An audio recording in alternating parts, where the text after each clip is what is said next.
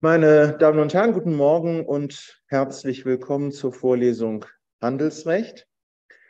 In der letzten Woche waren wir stehen geblieben beim Fall 10. Wir haben uns die ähm, Haftung im Fall der Unternehmens- und Firmenfortführung angeschaut. Zunächst einmal äh, bei Übertragung des Unternehmens unter Lebenden, Paragraph 25 HGB, dann von Todeswegen, Paragraph ähm, 27 und bei Fall 10, da haben wir schon die Vorschrift des Paragraphen 28 HGB gesehen. Im äh, Fall 10 haben wir den K, der ein ähm, Umzugsunternehmen betreibt, das auch im Handelsregister eingetragen ist. Ähm, er möchte sich beruflich etwas zurückziehen und vereinbart deswegen mit seinem ähm, langjährigen Mitarbeiter S die Gründung einer Kommanditgesellschaft. Dieser Kommanditgesellschaft soll dann der S als persönlich haftender Gesellschafter und der K als Kommanditist mit einer Einlage von 50.000 Euro angehören und diese Einlage wird auch von K in voller Höhe gezahlt. Die äh, KG firmiert dann unter Sauber und Co-Transporte KG, das heißt, ähm, sie äh, führt jetzt nicht die bisherige Firma fort, sondern äh, führt jetzt eine neue Firma.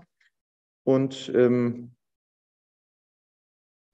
ja, der äh, K hatte äh, ein Transportfahrzeug äh, zum Preis von 60.000 Euro bei der A GmbH gekauft. Davon hatte er nur 30.000 bezahlt. Den restlichen Kaufpreis äh, verlangt nun die A ersetzt und zwar von der KG zunächst einmal, dann aber auch von S und K persönlich. Und wir müssen uns jetzt Gedanken machen, wie sieht es mit den Haftungsverhältnissen aus. Wir hatten uns in diesem Zusammenhang einen kurzen Überblick über die Personengesellschaften, die Merkmale der Personenhandelsgesellschaften speziell ähm, und äh, die Haftungsverhältnisse bei den Personenhandelsgesellschaften verschafft. Und ähm, bei den Personenhandelsgesellschaften haben wir es mit ähm, rechtsfähigen Gesellschaften zu tun, Paragraph 124 HGB über 161 Absatz 2 auch auf die KG anwendbar. Die Personenhandelsgesellschaften sind also als solche rechtsfähig, sind aber keine juristischen Personen, sondern mit den Gesellschaftern, bislang sagt man noch, in ihrer gesamthänderischen Verbundenheit identisch. Und diese Identität kommt unter anderem darin zum Ausdruck, dass die ähm, Gesellschafter der äh, OHG für die Verbindlichkeiten der Gesellschaft persönlich und accessorisch mit ihrem Privatvermögen haften. Das gilt zunächst einmal für diejenigen Gesellschafter, die schon im Zeitpunkt der Entstehung der Gesellschaftsverbindlichkeit Gesellschafter waren, gilt darüber hinaus aber nach 130 HGB auch für neu eintretende Gesellschafter. Ja, und 130 ist wichtig dann auch für das Verständnis des 28 HGB.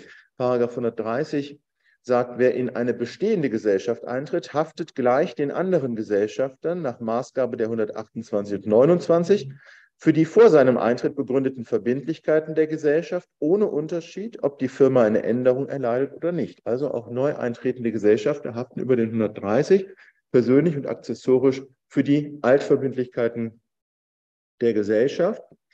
Und bei der Kommanditgesellschaft, da haben wir eben die Besonderheit, dass es neben dem persönlich haftenden Gesellschafter, dem sogenannten Komplementär, noch mindestens einen Kommanditisten gibt. Beim Kommanditisten ist die Besonderheit, dass ähm, der Kommanditist nur ähm, beschränkt haftet, nämlich beschränkt auf die sogenannte äh, Haftsumme.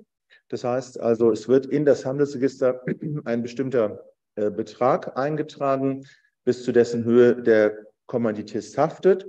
Und äh, wenn der Kommanditist eine Einlage mindestens in Höhe dieser Haftsumme erbracht hat, dann ist er von der Haftung befreit. Es sei denn, ähm, die Einlage wird ganz oder teilweise zurückgezahlt, dann lebt die Haftung wieder auf. Ja, das also die Haftungsverhältnisse bei der KG.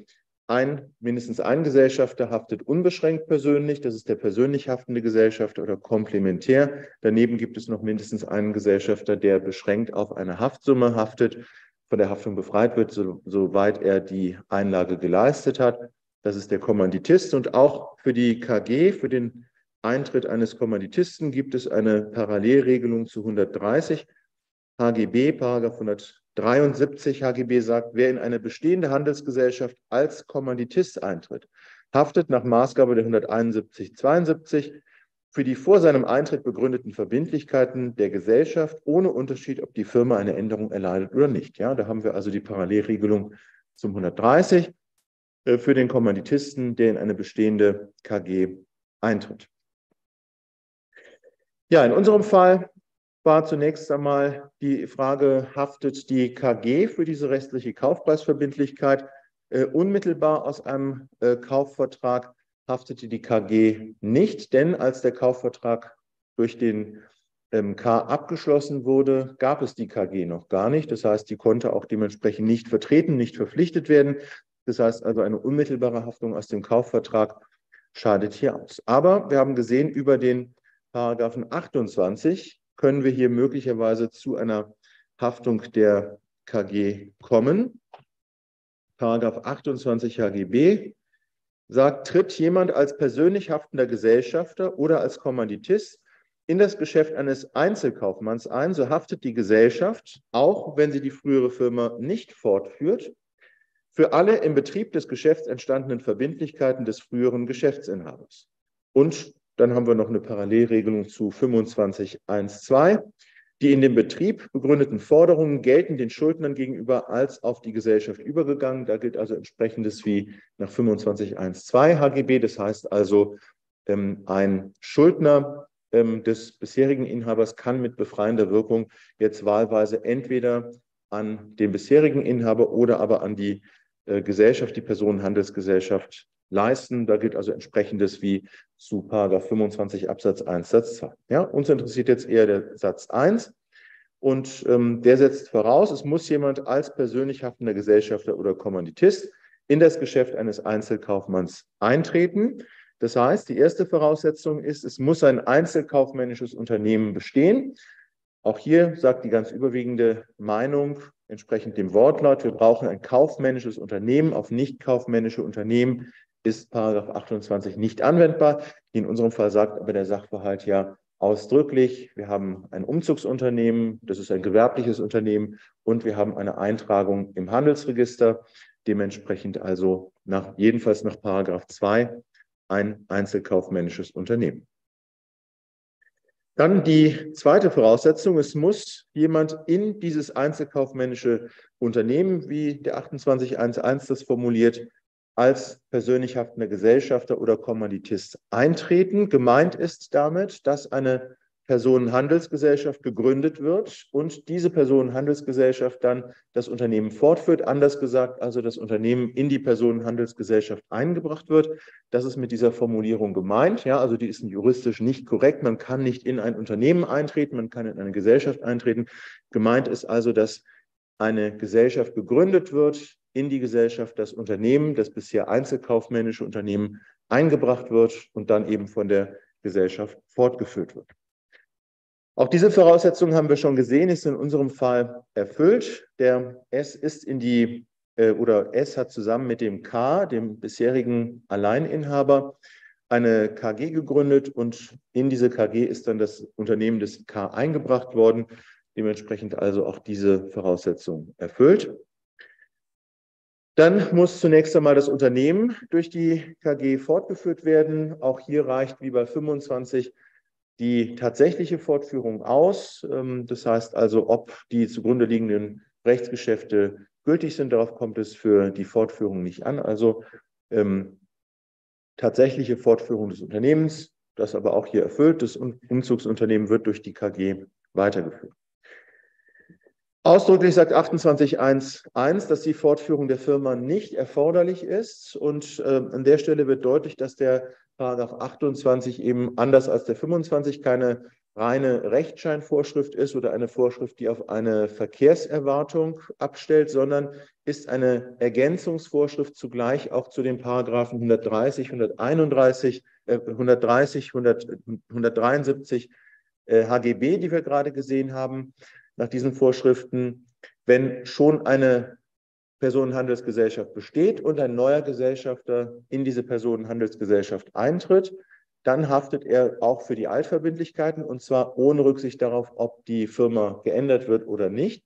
Das sagen die 130, 173 HGB Und der 28 ergänzt diese Vorschriften für die Konstellation, dass wir noch keine Personenhandelsgesellschaft haben, sondern mit dem Eintritt des weiteren, der weiteren Person eine solche Personenhandelsgesellschaft entsteht. Das ist wertungsmäßig der, der Konstellation gleichzusetzen, dass schon eine Gesellschaft besteht und in die bestehende Gesellschaft ein neuer Gesellschafter eintritt. Der haftet dann für die Altverbindlichkeiten und entsprechendes muss ähm, um zur Vermeidung von Wertungswidersprüchen gelten, wenn man in ein einzelkaufmännisches Unternehmen eintritt. Das heißt also, wenn mit dem Eintritt erst die Personenhandelsgesellschaft entsteht, dann muss eben, äh, um eine gleichmäßige Behandlung beider Konstellationen zu erreichen, ebenfalls diese Haftung für Altverbindlichkeiten eintreten und entsprechend auch der Regelung der 130, 173, ohne Rücksicht darauf, ob die Firma fortgeführt wird. Ja? Also der 28 hat einen insofern eigenständigen Charakter,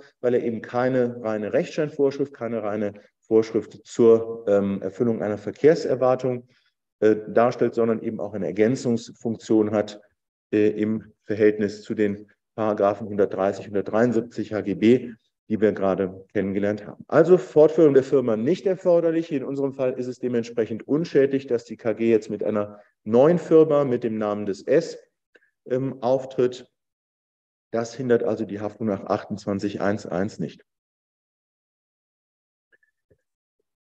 Ja, dann muss es sich um eine Verbindlichkeit handeln, die im Betrieb des früheren Inhabers des ähm, Einzel, früher einzelkaufmännischen Unternehmens begründet worden ist.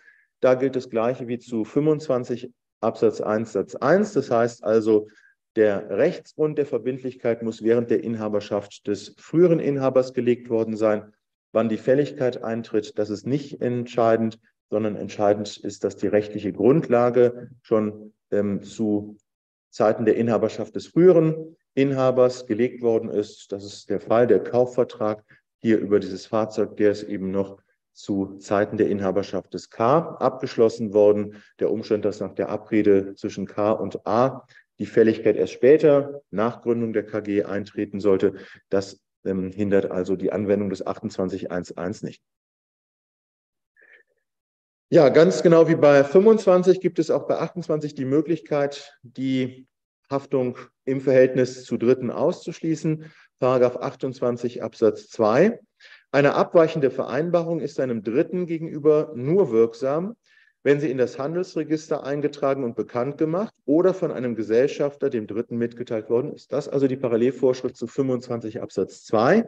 Hier ist also nach überwiegender Auffassung abschließend geregelt, in welchen Fällen ähm, der Dritte sich nicht auf diese Haftung nach 28.1.1 berufen kann, nämlich zum einen, wenn die abweichende Vereinbarung zwischen den Gesellschaftern, dass also die Gesellschaft nicht für die Altverbindlichkeiten haften sollte, ins Handelsregister eingetragen worden ist oder alternativ einer der Gesellschafter muss dem Dritten das mitgeteilt haben. Und ähm, genauso wie bei 25 Absatz 2 sagt die überwiegende Auffassung auch zu 28 Absatz 2, es schadet nur die auf diese Weise erlangte Kenntnis, also die abstrakte Kenntnis aus dem Handelsregister oder die konkrete Kenntnis durch Mitteilung eines der Gesellschafter, eine anderweitig erlangte Kenntnis, schadet also auch bei 28 nicht. Ja, hier in unserem Fall haben wir keine Handelsregistereintragung, auch keine Mitteilung durch einen der Gesellschafter. Auch zu 28.2 gilt, die Handelsregistereintragung und die Mitteilung muss unverzüglich erfolgen. Das heißt also, wenn man erst nach Monaten im Zeitpunkt der Inanspruchnahme sagt, wir haben doch was anderes vereinbart, das reicht nicht mehr aus, sondern das muss unverzüglich erfolgen. Und hier in unserem Fall ist eine solche unverzügliche Handelsregistereintragung, unverzügliche Mitteilung nicht erfolgt. Dementsprechend also kein Ausschluss nach 28 Absatz 2. Dementsprechend kommen wir zum Ergebnis. Der Tatbestand des 28.1.1 ist erfüllt. Das bedeutet, die ähm, KG, die Personenhandelsgesellschaft, haftet jetzt für diese Altverbindlichkeit des K und zwar neben dem K. Die Rechtsfolge des 28 entspricht der des 25. Wir haben einen gesetzlichen Schuldbeitritt. Das heißt also, der frühere Inhaber und die Personenhandelsgesellschaft haften jetzt als Gesamtschuldner für diese Altverbindlichkeit. Ähm, es tritt also die KG hier in unserem Fall als zusätzliche Schuldnerin zu dem K hinzu und der A kann dementsprechend über 28.1.1 auch gegen die KG den Anspruch auf Zahlung des restlichen Kaufpreises geltend machen. Ja, der A, die, die A nimmt ja nicht nur die KG, sondern auch die beiden Gesellschafter in Anspruch. Das heißt zum einen den S, zum anderen den K, den früheren Inhaber. Ja, woraus könnte sich die Haftung der beiden Gesellschafter ergeben? Was könnte da die Anspruchsgrundlage sein? Anspruch gegen den S, der ist ja in dieser KG der persönlich haftende Gesellschafter. Dann haben wir noch den K als Kommanditisten, der allerdings zugleich auch früherer Inhaber des Unternehmens war. Ja, woraus könnte sich hier eine Haftung des S zunächst mal ergeben, des persönlich haftenden Gesellschafters? Aus dem Gesellschaftsvertrag, ja, also hier geht es ja jetzt um die Haftung nach außen.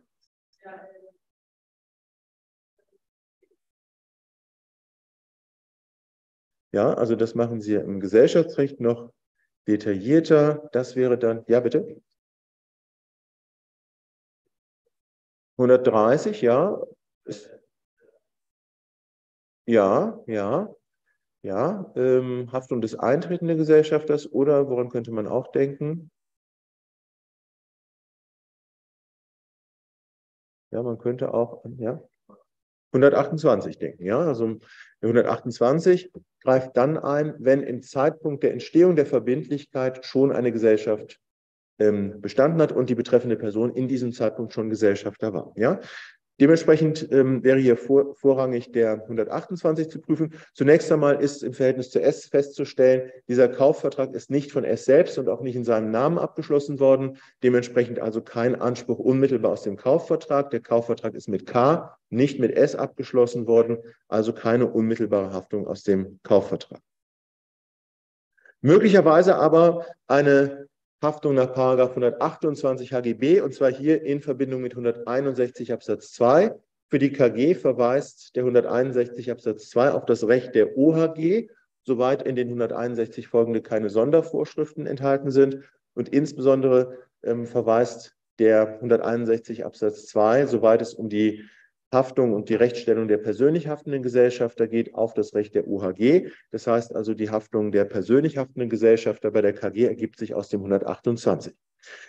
Der, der setzt eine, äh, oder das ist eine akzessorische Haftung, eine persönliche und akzessorische Haftung für die Gesellschaftsverbindlichkeiten.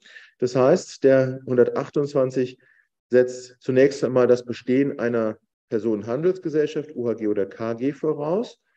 Das wäre die erste Voraussetzung und es muss dann eine Verbindlichkeit dieser Personenhandelsgesellschaft bestehen. Und hier in unserem Fall haben wir tatsächlich eine solche Verbindlichkeit der KG, wie wir gerade gesehen haben. Über den Paragraphen 28 Absatz 1 Satz 1 haftet ja die KG für diese Kaufpreisverbindlichkeit. Das heißt also, wir haben eine Verbindlichkeit der KG. Dann als weitere Voraussetzung für den 128, es muss der betreffende Gesellschafter im Zeitpunkt der Entstehung dieser Verbindlichkeit schon Gesellschafter dieser Gesellschaft gewesen sein. Anderenfalls, wenn er erst später eingetreten ist, nach Entstehung der Verbindlichkeit, dann wären wir bei 130. In unserem Fall ist ja diese Verbindlichkeit aus 28 unmittelbar mit der Gründung der KG entstanden. Ja, und unmittelbar mit diesem Zeitpunkt ist auch der ähm, S Gesellschafter geworden. Das heißt also, diese Zeitpunkte fallen hier zusammen. Entstehung der KG, Entstehung der Verbindlichkeit des 28 und Gesellschafterstellung des S. All diese ähm, Ereignisse fallen in einem Zeitpunkt zusammen. Und dementsprechend ist auch diese Voraussetzung ähm, erfüllt. Also die Verbindlichkeit der KG ist eben die aus 28.1.1 HGB. Und die weitere Voraussetzung dass der S im Zeitpunkt der Begründung der Verbindlichkeit schon persönlich haftender Gesellschafter gewesen sein muss, ist ebenfalls erfüllt. Ja, es ist also kein Fall des 130, sondern mit dem Eintritt des S in das Unternehmen des K, wie es der 28.1.1 formuliert, entsteht die KG, entsteht damit die Verbindlichkeit des 28.1 und entsteht die Gesellschafterstellung des S. Das heißt, im Zeitpunkt der Entstehung der Verbindlichkeit des 28 ist der S schon Gesellschafter. Deswegen also ein Fall des 128, kein Fall des 130.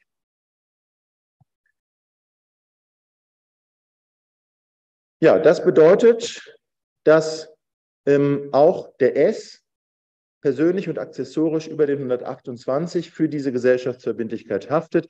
Der S kann dementsprechend auch persönlich mit seinem Privatvermögen in Anspruch genommen werden, ähm, haftet also ebenfalls aus ähm, äh, auf Zahlung der 30.000 Euro gegenüber der A. Damit hat also die A einen weiteren Schuldner. Ja, das ist also ähm, ein zentraler Grundsatz des Rechts der Personengesellschaften. Die Gesellschafter haften persönlich mit ihrem Privatvermögen für die Gesellschaftsverbindlichkeiten die persönlich haftenden Gesellschaften der KG unbeschränkt, die Kommanditisten, das werden wir jetzt gleich noch sehen, dagegen beschränkt.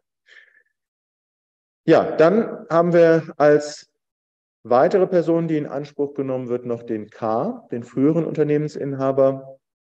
Woraus könnte sich denn die Haftung des K ergeben? Ja? Ja, 171 HGB, das ist ähm, die eine Anspruchsgrundlage und eine andere. Ja, wer hat damals den Kaufvertrag geschlossen? Der K, ne, das heißt Haftung auch unmittelbar aus dem Kaufvertrag. Also, erster Anspruch wäre der unmittelbar aus dem Kaufvertrag und tatsächlich hat ja der K damals diesen Kaufvertrag im eigenen Namen geschlossen. Damals gab es ja noch gar keine KG, die ist erst später begründet worden, sondern er hat diesen Kaufvertrag im eigenen Namen abgeschlossen und dementsprechend wäre das die erste Anspruchsgrundlage, die Haftung des K unmittelbar aus dem Kaufvertrag. Und dann haben Sie richtig gesagt, als weitere Anspruchsgrundlage 171 Absatz 1, die Haftung des Kommanditisten bei einer KG. Ähm, die ergibt sich aus den 171, 172. Beim Kommanditisten ist ja kennzeichnend, für ihn wird in das Handelsregister eine Haftsumme eingetragen. Das ist der Betrag, bis zu dem er gegenüber den Gesellschaftsgläubigern haftet. Und Paragraph 171 sagt, der Kommanditist haftet den Gläubigern der Gesellschaft bis zur Höhe seiner Einlage, bis zur Höhe der Haftsumme unmittelbar. Die Haftung ist ausgeschlossen, soweit die Einlage geleistet ist. Das heißt also, soweit der Kommanditist eine mindestens den Betrag der Haftsumme erreichende Einlage erbracht hat. Das kann eine Geldeinlage sein, eine Sacheinlage, jedenfalls etwas, was mindestens den Wert der Haftsumme erreicht. Dann ist er von der Haftung befreit. 172 ergänzt im, äh, in Absatz 1 im Verhältnis zu den Gläubigern der Gesellschaft wird nach der Eintragung in das Handelsregister die Einlage eines Kommanditisten durch den in der Eintragung angegebenen Betrag bestimmt. Damit ist also klargestellt, es ist nicht maßgeblich im Verhältnis zu den Gläubigern nach außen, das, was im Gesellschaftsvertrag als Einlage vereinbart worden ist, sondern das, was als Haftsumme in das Handelsregister eingetragen worden ist.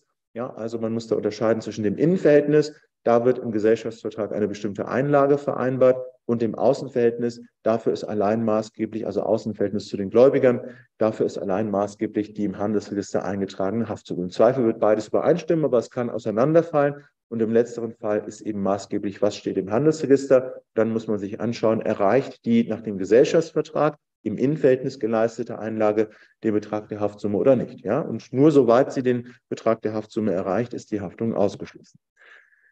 172 Absatz 4 ergänzt weiter, soweit die Einlage eines Kommanditisten zurückbezahlt wird, gilt sie den Gläubigern gegenüber als nicht geleistet. Das heißt, insoweit lebt die Haftung wieder auf. Ja? Das ist also die beschränkte Haftung des Kommanditisten. Und ähm, hier in unserem Fall zunächst einmal wieder Voraussetzung, dass eine Verbindlichkeit der Gesellschaft besteht. Das haben wir eben schon festgestellt. Das ist diese Kaufpreisverbindlichkeit, für die die KG über den 2811 haftet. Dann zweite Voraussetzung, es müsste der äh, K im Zeitpunkt der Begründung dieser Verbindlichkeit Kommanditist dieser Gesellschaft gewesen sein. Das ist entsprechend zu dem, was ich zu S schon gesagt habe, der Fall. Ja, also mit der Einbringung des Unternehmens in die KG entsteht die KG, entsteht damit die Haftung aus 28 und entsteht die Kommanditistenstellung. Beides fällt, alles drei fällt also in einem Zeitpunkt zusammen und dementsprechend ist auch diese Voraussetzung erfüllt. Aber 171 sagt ja, soweit die Einlage geleistet worden ist, ist die Haftung ausgeschlossen. Und hier in unserem Fall sagt der Sachverhalt, der K hat die von ihm geschuldete Einlage 50.000 Euro, entsprechend zugleich der Haftsumme, in voller Höhe geleistet. Und damit ist seine Haftung ausgeschlossen. Ja, er haftet also nicht mehr als äh, Kommanditist. Die Haftung würde wieder aufleben, wenn seine Einlage oder soweit seine Einlage zurückgezahlt wird. Das ist aber nicht geschehen. Dementsprechend ist die Haftung des K ausgeschlossen. Ähm, er haftet, wenn man so will, nur mit der geleisteten Einlage, denn diese Einlage von 50.000 Euro, die geht ja in das Vermögen der KG über und das Vermögen der KG haftet ja den Gläubigern. Ja? Also insoweit haftet er gewissermaßen mittelbar dadurch, dass er eben diese Einlage in das Gesellschaftsvermögen geleistet hat. Aber im Übrigen, das heißt also mit seinem restlichen Vermögen haftet er nicht mehr. Dementsprechend also kein Anspruch der A gegen den K. Der K kann aber weiterhin ja als ursprünglicher Vertragspartner äh, in Anspruch genommen werden. Er hat ja den Kaufvertrag abgeschlossen. Da aber gibt es eine Enthaftungsregelung. Das heißt also, diese Haftung äh, setzt sich nicht zeitlich unbegrenzt fort, sondern für diese Haftung gibt es ja in Parallele zu 26 HGB eine zeitliche Grenze. Paragraph 28 Absatz 3 sagt, wird der frühere Geschäftsinhaber Kommanditist und haftet die Gesellschaft für die im Betrieb seines Geschäfts entstandenen Verbindlichkeiten, so ist für die Begrenzung seiner Haftung Paragraph 26 entsprechend mit der Maßgabe anzuwenden, dass die in Paragraph 26 Absatz 1 bestimmte Frist mit dem Ende des Tages beginnt, an dem die Gesellschaft in das Handelsregister eingetragen wird. Dies gilt auch, wenn er in der Gesellschaft oder einem ihr als Gesellschafter angehörenden Unternehmen geschäftsführend tätig wird. Das heißt also eine geschäftsführende Stellung des Kommanditisten, die kann man gesellschaftsvertraglich vereinbaren, schadet nicht. Aber Satz 3, seine Haftung als Kommanditist bleibt unberührt. Also diese beschränkte Kommanditistenhaftung, die bleibt bestehen, auch über den sich aus 28 Absatz 3 ergebenden Zeitrahmen hinaus. Der 28 Absatz 3 Satz 1 verweist auf den 26 mit der Maßgabe, ähm, dass maßgeblich ist für den Beginn der Frist das Ende des Tages, an dem die Gesellschaft ins Handelsregister eingetragen wird. Und der Paragraph 26 äh, sagt, ist der Erwerber eines Handelsgeschäfts aufgrund der Fortführung der Firma und so weiter für die früheren Geschäftsverbindlichkeiten haftbar. So haftet der frühere Geschäftsinhaber für diese Verbindlichkeiten nur, wenn sie vor Ablauf von fünf Jahren fällig und daraus Ansprüche gegen ihn ähm, geltend gemacht sind. Ja, also innerhalb von fünf Jahren müssen diese Ansprüche fällig sein. Nach Ablauf dieser fünf Jahresfrist entfällt diese äh, Haftung aus der ursprünglichen Verbindlichkeit, hier in unserem Fall aus dem Kaufvertrag. Und 26 Absatz 1 Satz 2 sagt, die Frist beginnt mit dem Ende des Tages, an dem der neue Inhaber in das Handelsregister eingetragen wird ähm, und hier dann entsprechend der Zeitpunkt, in dem die Gesellschaft in das Handelsregister eingetragen wird. Also ab Eintragung der der Gesellschaft äh, wird noch für alle Verbindlichkeiten gehaftet, die innerhalb von fünf Jahren seit diesem Zeitpunkt fällig werden. Für alle danach fällig werdenden Verbindlichkeiten wird nicht mehr gehaftet, ähm, tritt also die Enthaftung ein. Das gilt aber nur für die Haftung unmittelbar, in unserem Fall aus dem Vertrag, gilt aber nicht für die Kommanditistenhaftung. Die beschränkte Kommanditistenhaftung bleibt auch über diesen Zeitpunkt hinaus bestehen. Ja, das also die Enthaftungsregelung des Paragraphen 28 Absatz 3.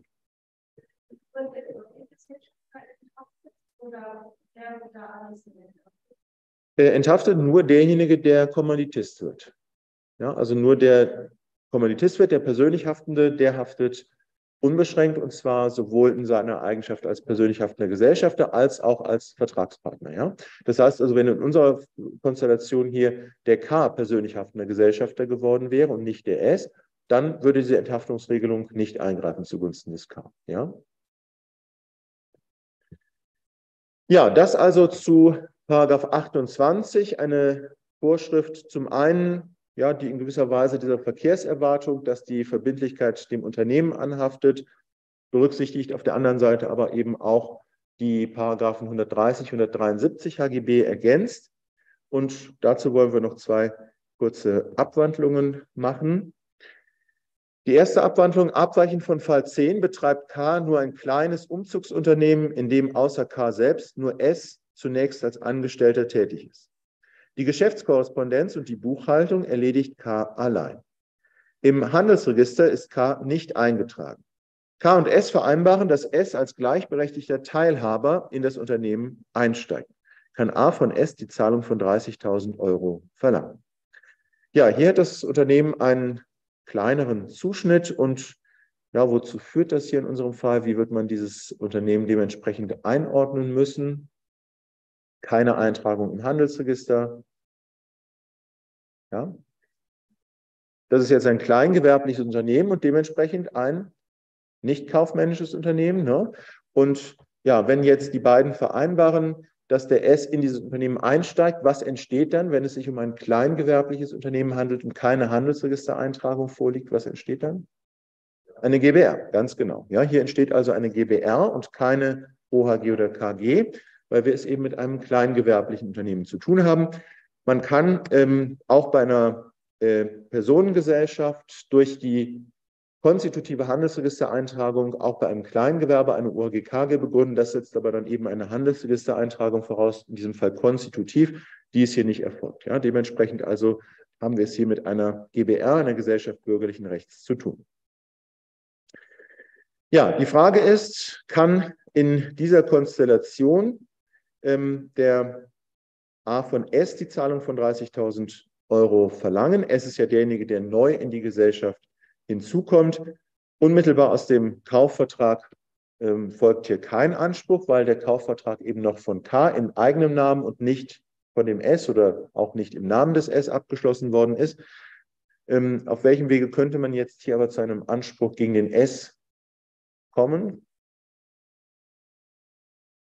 S als Gesellschafter einer GBR, woraus würde sich da die Haftung ergeben? Ja, wenn Sie in die aktuell gültigen Vorschriften der 705 folgende BGB hineinschauen, da finden Sie keine explizite Regelung der Haftung der Gesellschafter. Ja.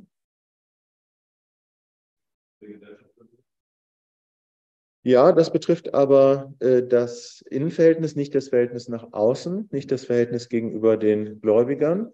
Ja, also Sie finden in den 705 folgende keine Vorschrift, die die Haftung der Gesellschafter der GBR nach außen regelt. Ja? Und dementsprechend war das lange umstritten. Woraus folgt die Haftung? Vielleicht haben Sie das schon mal gehört, wie der BGH das dann am Ende entschieden hat im Jahr 2001. Ja? Ja, also die GBR haftet als solche. Ja, sie ist als solche rechtsfähig. Auch das ist nicht explizit in den 705 Folgen in ihrer aktuell gültigen Fassung geregelt, sondern das hat man dann auch in dieser Entscheidung äh, aus 2001, die BGH-Entscheidung Weißes Ross, entschieden. Ja, wie hat der BGH das gelöst? Auf welche Idee könnte man kommen? Ja, bei der GBR sind solche Regelungen nicht enthalten. Bei der OHG haben wir solche Regelungen, nämlich 124 Rechtsfähigkeit der OHG als solche und 128 persönliche accessorische Haftung. Was wird der BGH wohl gemacht haben? Ja, analoge Anwendung, ganz genau. Ja, das heißt also, wir könnten hier über den 128 HGB analog zu einer Haftung des S als Gesellschafter der GBR kommen. Das war also lange umstritten. Ähm, wie äh, wird die Haftung der Gesellschaft der GBR konstruiert? Es gab eben, gibt nach wie vor keine dem 128 HGB entsprechende Regelung in den 705 folgende. Und da hat man sich lange gestritten. Werden die Gesellschafter persönlich verpflichtet? Ähm, werden sie also gewissermaßen durch den geschäftsführungsvertretungsberechtigten Gesellschafter mitverpflichtet? Da hat man also verschiedene Konstruktionen sich überlegt. Der BGH hat das dann im Anschluss an die Habilitationsschrift meines akademischen Lehrers, Herrn Wertenbruch, aus dem Jahr 2000, 2001 entschieden dahin, dass die äh, Vorschrift des 124 HGB analog auf die GBR anzuwenden ist. Das heißt also, auch die GBR ist als solche rechtsfähig und die Gesellschafter der GBR haften nach 128 analog für die Gesellschaftsverbindlichkeiten. Das heißt, wir haben die persönliche accessorische Haftung. Das war also jahrzehntelang streitig, bis dann der ähm, BGH das 2001 entschieden hat. Im neuen Recht ab 01.01.2024 finden Sie dann ausdrückliche, explizite Regelungen in den 705 folgende. Das sind dann nach neuer Fassung die 721 folgende, meine ich, sind es. Da steht es jetzt ausdrücklich drin. Auch ist im künftigen Recht in dem neuen Paragraph 705 Absatz 2 ausdrücklich geregelt, dass die GBR als solche rechtsfähig ist.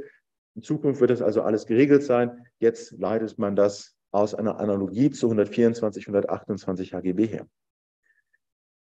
Ja, in analoger Anwendung des 128, da brauchen wir zunächst einmal eine Gesellschaft, eine rechtsfähige Personengesellschaft, denn nur dann kann es ja eine Gesellschaftsverbindlichkeit geben.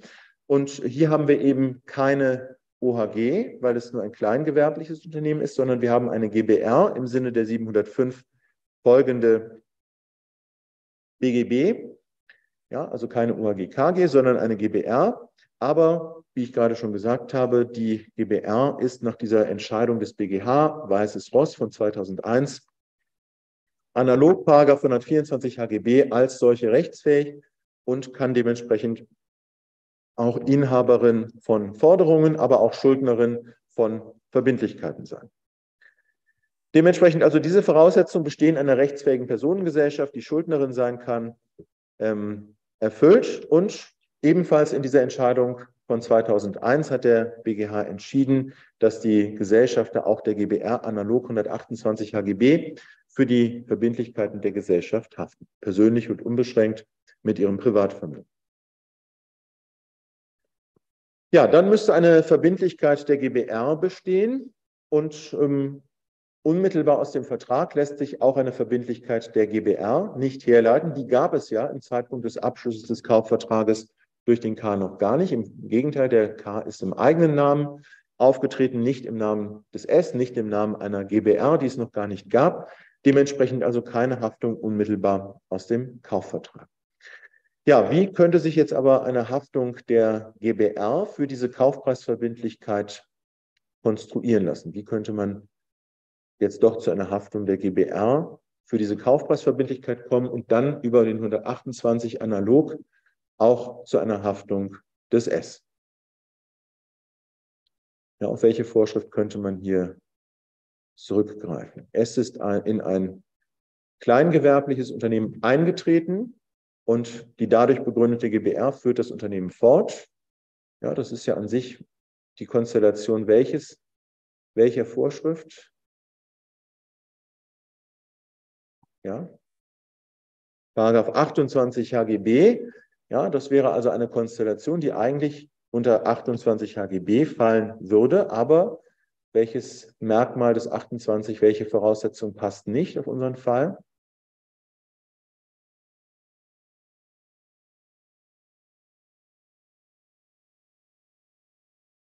tritt jemand als persönlich haftender Gesellschafter, ist unser Fall, ja, der S wird persönlich haftender Gesellschafter der GBR, in das Geschäft eines Einzelkaufmanns ein. Ja, diese Voraussetzung fehlt. Ne? Wir haben kein kaufmännisches Unternehmen, sondern wir haben ein kleingewerbliches und damit mangels Handelsregistereintragung nicht kaufmännisches Unternehmen. Und dementsprechend ist hier ja auch keine OAG oder KG, sondern es ist eine GBR entstanden. Die Frage ist nun, kann man den 28 analog auf die GBR anwenden? Ja, das ist eine umstrittene Frage. Entsprechende Anwendung des 28 HGB auf den Fall, dass durch Eintritt in ein nicht kaufmännisches Unternehmen eine GBR begründet wird. Ja, das ist umstritten. Im Schrifttum gibt es Stimmen, wie immer unter anderem von Carsten Schmidt, der sagt, auch auf diese Konstellation Eintritt in ein nicht kaufmännisches Unternehmen, Gründung einer GBR, soll der 28 entsprechend anwendbar sein, dass also ja, Teil dieses Gesamtkonzepts von Carsten Schmidt, das Handelsrecht ist das Privatrecht der Unternehmen und dementsprechend ähm, sind die handelsrechtlichen Vorschriften im Grundsatz auf Unternehmen aller Art anwendbar. Die ganz überwiegende Auffassung lehnt das aber ab. Erstens Wortlaut des 28, zweitens ähm, Im Jahr 1998 gab es eine umfassende Reform des Handelsrechts, ähm, unter anderem eine Neuregelung des Kaufmannsbegriffs. Und im Zuge dieser Reform hat der Gesetzgeber davon abgesehen, diese Erweiterung der Vorschriften des HGB auf Unternehmen aller Art vorzunehmen, wie das im Schrifttum gefordert worden ist. Das hat der Gesetzgeber gerade nicht gemacht. Und das ist schon eine bewusste Entscheidung des Gesetzgebers gegen die ähm, pauschale Anwendung der HGB-Vorschriften auf nicht kaufmännische Unternehmen. Und daraus leitet die ganz überwiegende Auffassung her, dass der 28 beim Wort zu nehmen ist. Das heißt also, auf nicht kaufmännische Unternehmen, auf die Gründung einer GBR ist der 28 nicht und auch nicht entsprechend anwendbar. So die überwiegende Auffassung. Ja, dass also die Frage, die hier im Mittelpunkt steht, entsprechende Anwendung auf den Eintritt in ein nicht kaufmännisches Unternehmen und die Gründung einer GBR. Die ganz überwiegende Auffassung lehnt das ab.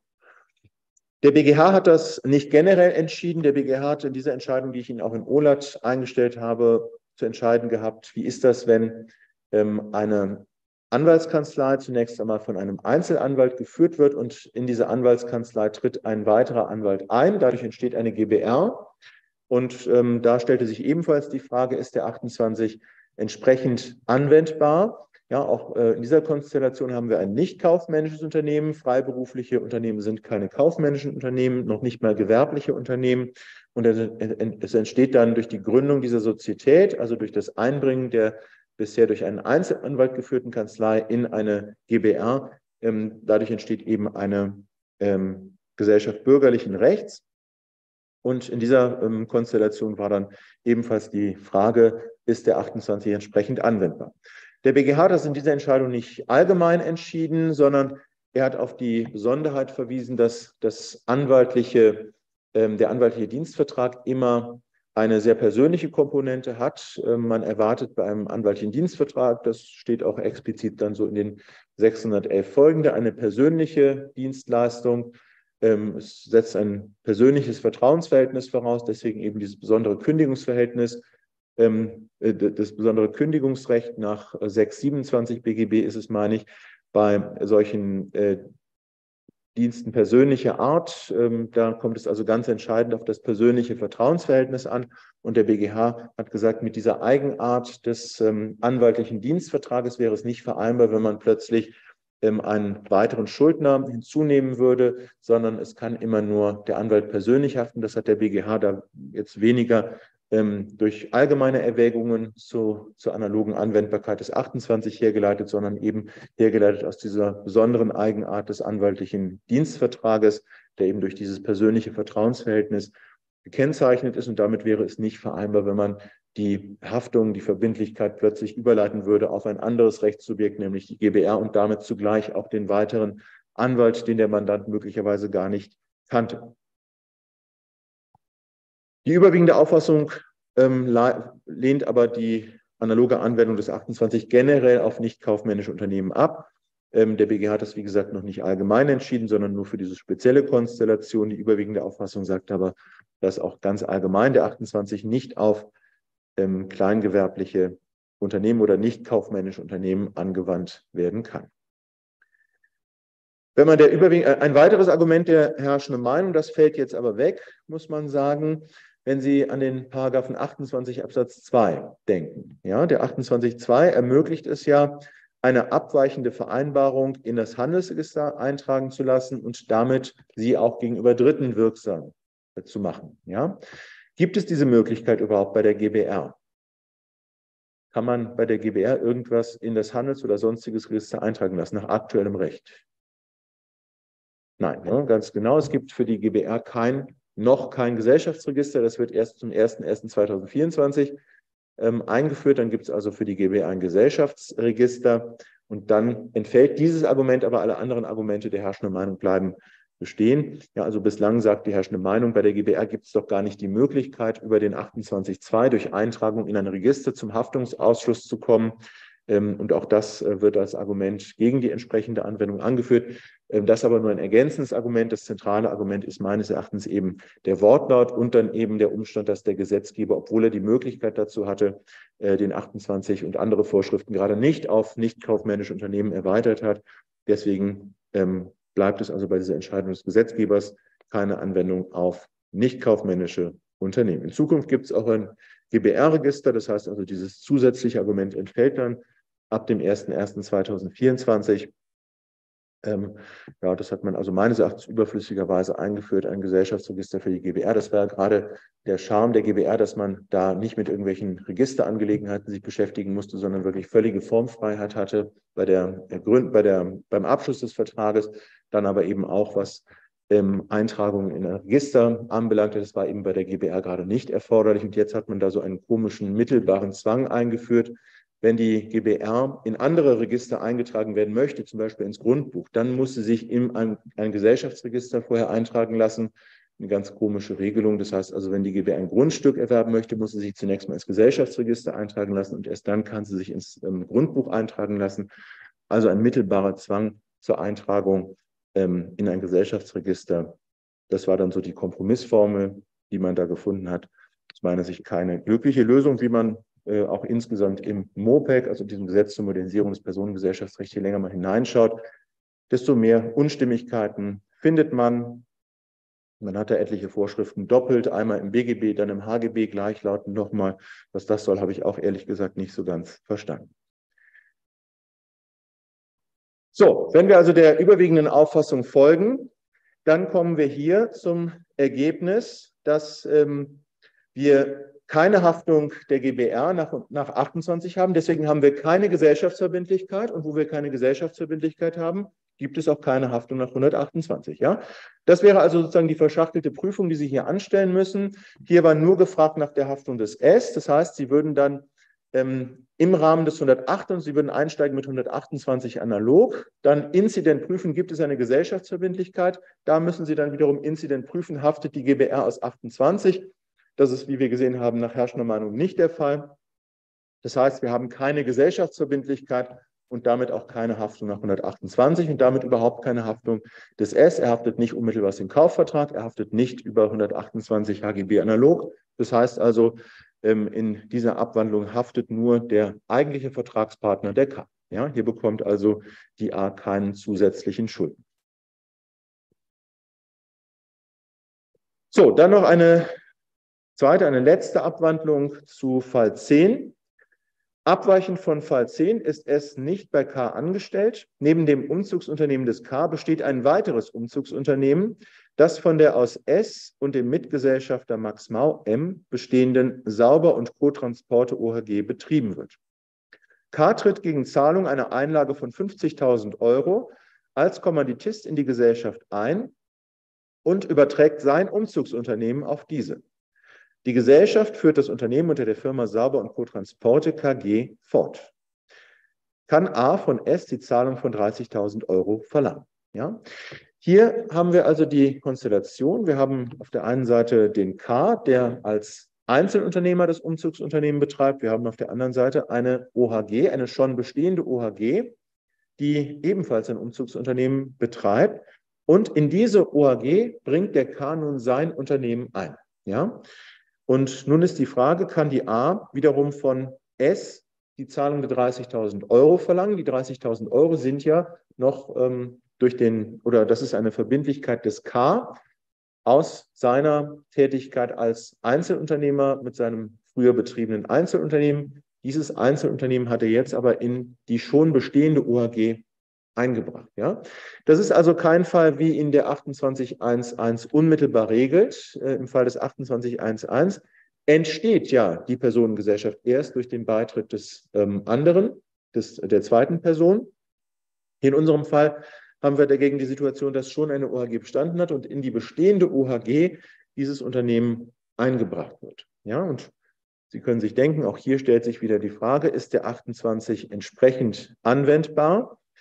Ja, auch hier würden wir, müssen wir zunächst einmal feststellen, der S war nicht Vertragspartner dieses Kaufvertrags, mit der A haftet also nicht unmittelbar aus dem Kaufvertrag, aber er könnte in seiner Eigenschaft als persönlich haftender Gesellschafter der jetzt neu entstandenen KG haften über den 161 Absatz 228 HGB. Ja, also ähm, Accessorische Gesellschafterhaftung. Dafür wäre wieder erforderlich das Bestehen einer Gesellschaftsverbindlichkeit. Es besteht eine KG, die ist eben durch den Beitritt des K in die schon bestehende OHG entstanden. Mit dem K ist dann ein dritter Gesellschaft, ein Kommanditist dazugekommen. Damit wird die OHG zur KG. Jetzt die Frage, haben wir eine Verbindlichkeit der KG und die könnte sich hier wieder nur aus Paragraph 28 ergeben, denn die äh, KG ist nicht selbst Vertragspartnerin. Man könnte an 25 HGB denken, aber es findet hier keine Firmenfortführung statt. Es wird also die Firma des früheren Einzelunternehmens des K gerade nicht fortgeführt von der KG, sondern sie hat eine andere Firma. Über den 25 kommen wir also nicht zu einer Haftung der KG, auch nicht unmittelbar aus dem Kaufvertrag, sondern wir könnten hier allenfalls über den 28 HGB zu einer Haftung der KG kommen. Unmittelbar anwendbar ist der 28 HGB aber nicht, denn der 28 setzt ja voraus, dass mit dem Beitritt der anderen Person erst die Personenhandelsgesellschaft entsteht. Hier in unserem Fall bestand aber schon eine OHG, eine Personenhandelsgesellschaft, und in diese bestehende Gesellschaft ist das Unternehmen eingebracht worden. Das ist eine andere Konstellation als die, von der 28 spricht. Die Frage ist nun, kann man den 28 auf die hier vorliegende Konstellation Einbringung eines Unternehmens in eine schon bestehende ähm, Personenhandelsgesellschaft entsprechend anwenden? Ja, was würden Sie sagen? Entsprechende Anwendung des 28 auf die hier vorliegende Konstellation. Ja, wir haben ein einzelkaufmännisches Unternehmen, aber wir haben eben nicht diese Voraussetzung, dass ähm, durch den Eintritt des Einzelkaufmanns in äh, oder einer anderen Person in das einzelkaufmännische Unternehmen eine Personenhandelsgesellschaft entsteht, sondern die hat schon bestanden. Ja? ja, würden Sie auf diese Konstellation in 28 entsprechend anwenden? Gibt es da eine Regelungslücke? Ja. Ja, nach dem Wortlaut passt es nicht. Ne? Haben wir denn eine Regelungslücke tatsächlich für den Fall Einbringung eines Unternehmens und Fortführung dieses Unternehmens? Ja?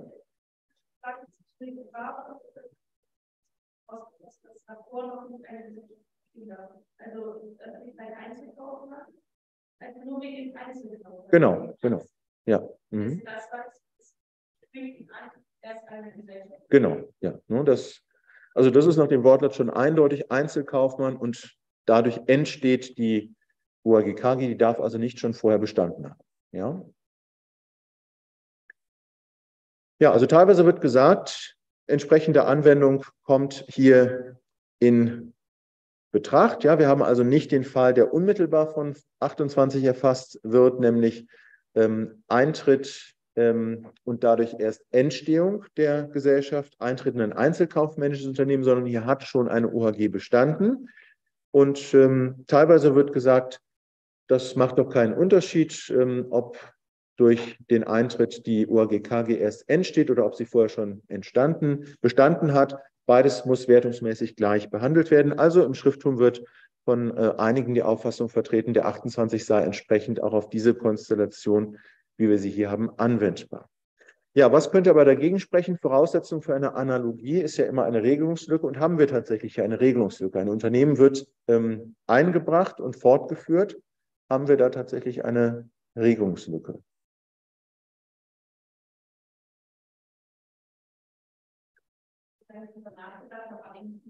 Wir können dagegen sprechen sollten, dass der Humanitist dann auch dafür haftet, das heißt, würde ich schon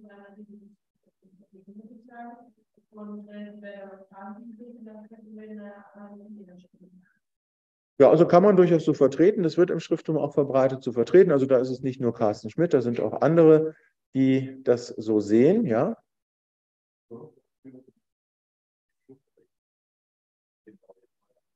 Ja, ganz genau. Also so sieht es eben auch die herrschende Meinung. Die sagt, diese Konstellation ist doch in 25 erfasst. Ne? Und die setzt eben die Firmenfortführung voraus.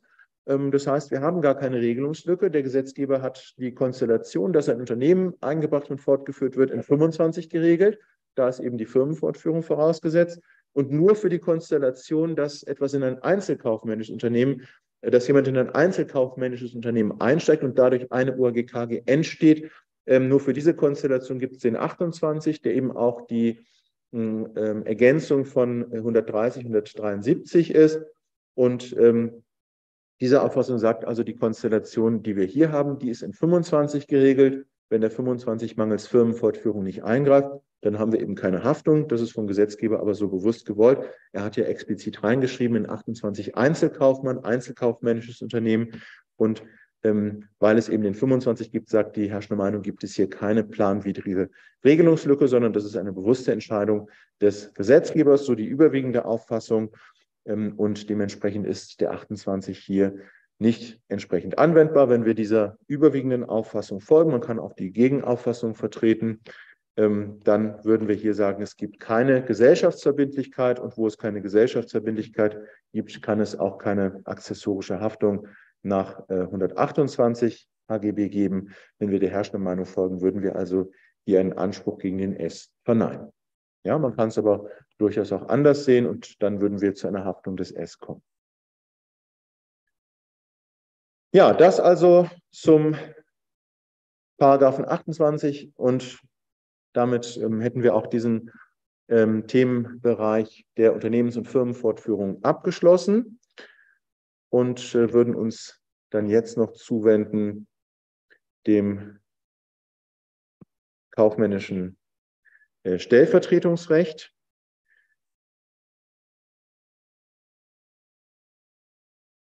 Moment, da habe ich jetzt, glaube ich, die falsche Folie. Muss ich Ihnen gerade mal die richtige Folie auflegen.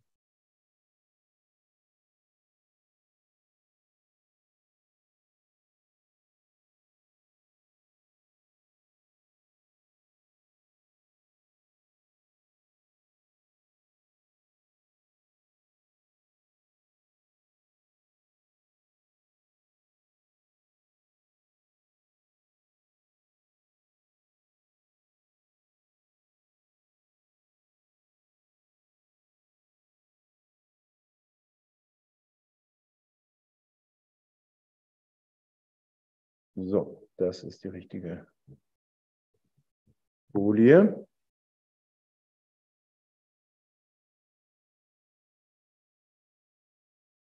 So, dann würden wir uns jetzt im folgenden Teil noch beschäftigen mit dem Stellvertretungsrecht des HGB und ähm, hier zunächst einmal mit der Prokura. Die Prokura ist ähm, eine besondere Form einer rechtsgeschäftlichen Vertretungsmacht, also einer Vollmacht. Ja, Paragraph 166 Absatz 2 Satz 1 BGB sagt ja, eine durch Rechtsgeschäft erteilte Vertretungsmacht ist eine Vollmacht.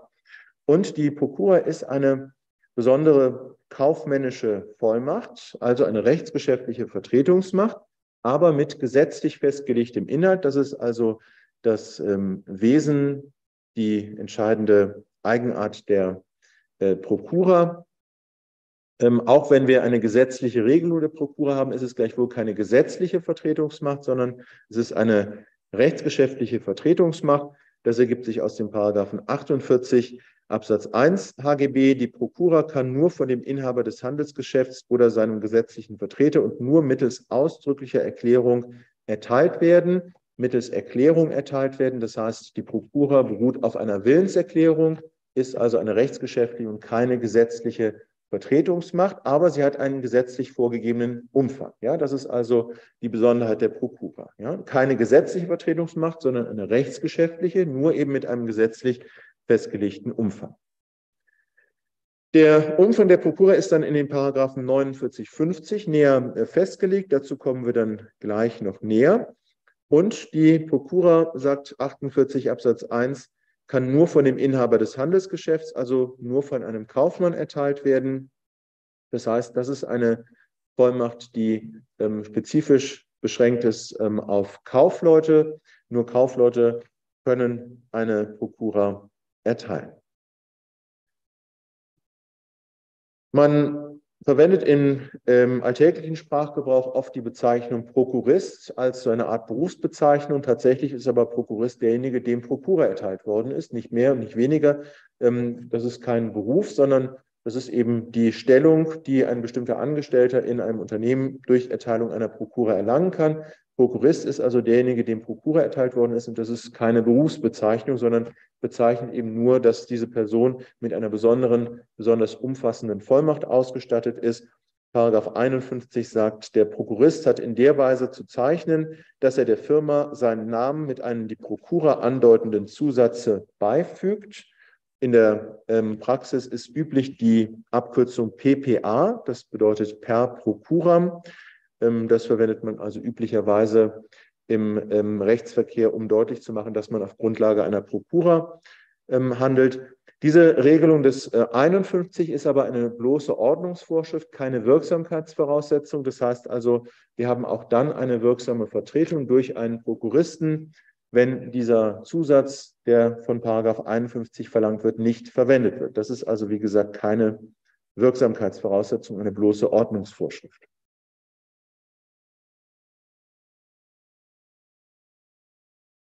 Ja, die Prokura ist ähm, eine besondere kaufmännische Vollmacht, eine besondere kaufmännische Vertretungsmacht. Soweit aber die Paragraphen 48 folgende keine Sondervorschriften enthalten, sind ergänzend subsidiär die Paragraphen 164 folgende BGB anwendbar. Das folgt wieder aus Artikel 2 EGHGB, der ja sagt, auf die ähm, Kaufleute finden die Vorschriften des BGB Anwendung, soweit nicht im HGB Sondervorschriften enthalten sind. Und das Gleiche gilt eben auch für das Recht der Prokura. Vorrangig sind die 48 folgende anzuwenden.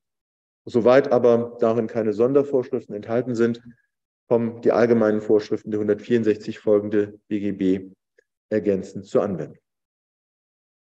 Das wirkt sich dann auch, wie wir anhand des Falles noch sehen werden, auf die Prüfung aus. Bei der äh, Prüfung einer Prokura, da würden Sie im Zweifel immer mit dem 164 Absatz 1 Satz 1 BGB einsteigen ähm, und die Frage aufwerfen, liegt hier eine wirksame Stellvertretung vor? Und im Rahmen der Vertretungsmacht würden Sie dann eben die Prokura und gegebenenfalls die Grenzen der Prokura prüfen. Das heißt also, diese Prokura-Prüfung ist in der Regel eingebettet in die allgemeine Prüfung der Stellvertretung nach 164 BGB. Ähm, also auch da sieht man sehr schön diese Verzahnung zwischen dem HGB und dem BGB.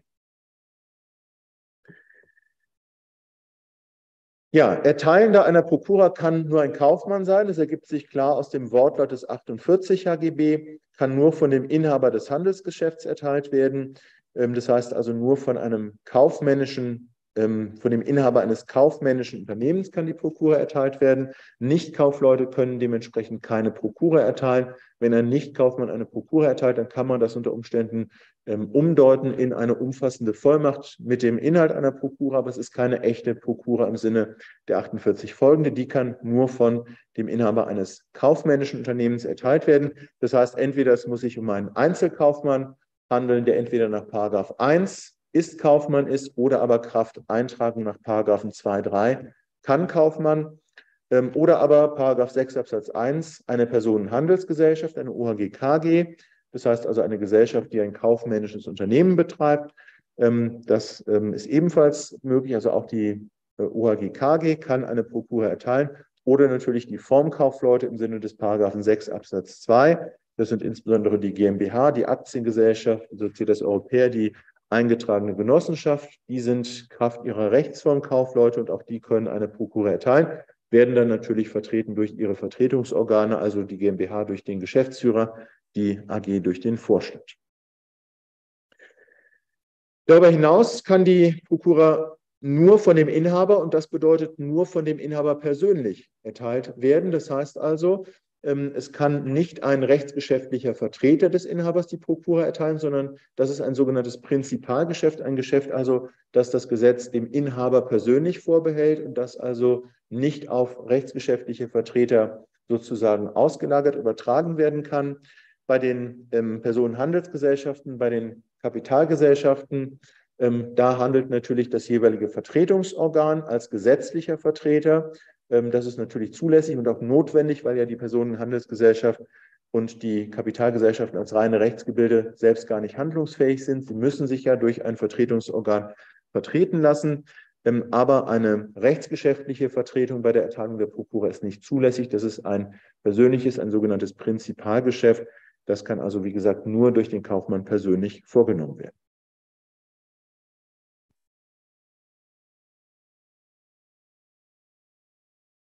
Ja, wer, welche Voraussetzungen muss der Adressat der Prokura erfüllen? Ähm, da die Prokura eine ähm, ja, höchst persönliche äh, Vollmacht ist, die ein besonderes Vertrauensverhältnis voraussetzt, ähm, wird ganz überwiegend gesagt, dass die Prokura nur an natürliche Personen erteilt werden kann, also nicht an juristische Personen. Es kann nur eine natürliche Person Prokurist sein.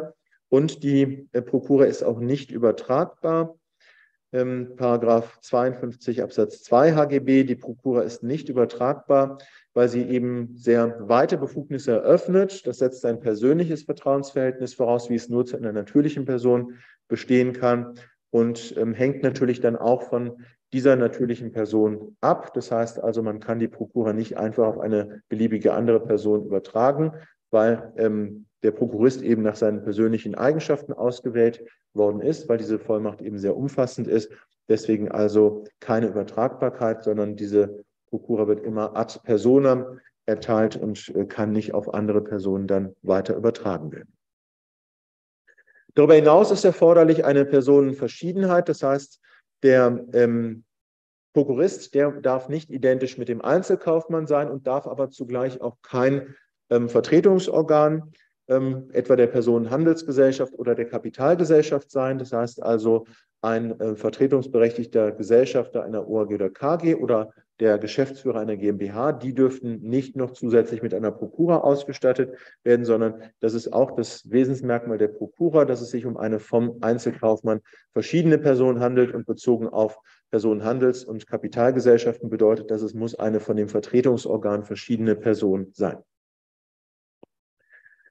Die Prokura kann nach 48 Absatz 2 auch als Gesamtprokura erteilt werden. Paragraph 48 Absatz 2 sagt, die Erteilung kann an mehrere Personen gemeinschaftlich erfolgen als sogenannte Gesamtprokura und das wäre dann eben eine ähm, echte Gesamtprokura. Das bedeutet, ähm, die Personen können nur äh, zusammen ähm, die wirksame Vertretung vornehmen. Das ist also vom Gesetz ausdrücklich zugelassen. Daneben gibt es noch, dazu kommen wir dann gleich noch, eine sogenannte unechte Gesamtprokura. Das bedeutet, der Prokurist kann nur zusammen mit einer anderen Person, üblicherweise ähm, einem Vertretungsorgan der Personenhandelsgesellschaft, Kapitalgesellschaft, ähm, wirksam vertreten. Mit der echten Gesamtprokura ist aber eben die Konstellation gemeint, dass wir zwei natürliche Personen haben, die beide Prokuristen sind, aber eben nur zusammen handeln dürfen. Oder es können auch mehrere Personen sein als zwei, ähm, die dann also nur zusammen ähm, wirksam vertreten können. Die Prokura kann nach 48 Absatz 1 nur ausdrücklich erteilt werden, das heißt also nicht konkludent. Ja, es muss also ausdrücklich ähm, ausgesprochen werden, dass Prokura erteilt wird, keine konkludente Erteilung der Prokura möglich. Das folgt eben wiederum aus dieser besonderen Reichweite der Prokura und im Interesse der Rechtssicherheit kann man von einer Prokura und der damit verbundenen Reichweite der Vertretungsmacht nur dort ausgehen, wo ausdrücklich ähm, eine Prokura erteilt worden ist, also Erfordernis der ausdrücklichen Erteilung. Die Erteilung der Prokura ebenso das Erlöschen der Prokura ist in das Handelsregister einzutragen, Paragraph 53. Die Erteilung der Prokura ist von dem Inhaber des Handelsgeschäfts zur Eintragung in das Handelsregister anzumelden. Und wenn sie als Gesamtprokura erteilt ist, so muss auch dies zur Eintragung angemeldet werden. Und das Erlöschen, Paragraph 53 Absatz 2, ist in gleicher Weise wie die Erteilung zur Eintragung anzumelden. Verpflichtung zur Eintragung ins Handelsregister.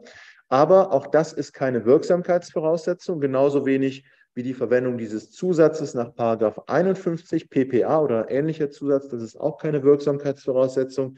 Auch die Eintragung in das Handelsregister ist keine Wirksamkeitsvoraussetzung, ähm, sondern das ist eine Ordnungsvorschrift, die Konsequenzen haben kann und deren Verletzung Konsequenzen haben kann.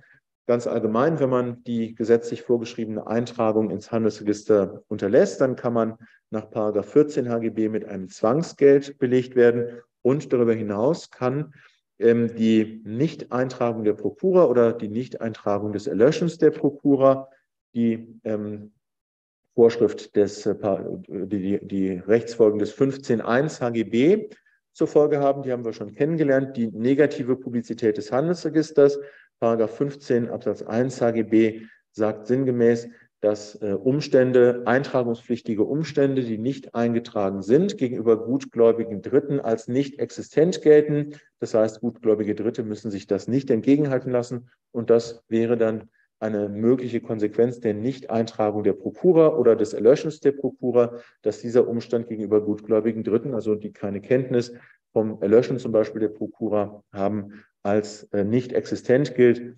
Ähm, das also eine zivilrechtliche Folge der Unterlassung der Eintragung.